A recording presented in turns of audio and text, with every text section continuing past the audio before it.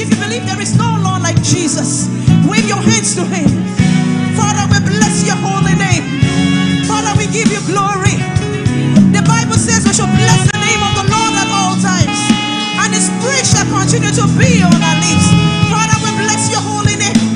Even the 24 elders in the heaven will bow down and say, Holy, holy, holy are you, Lord, because you are the King of kings, you are the Lord of Life." Father, we lift your name.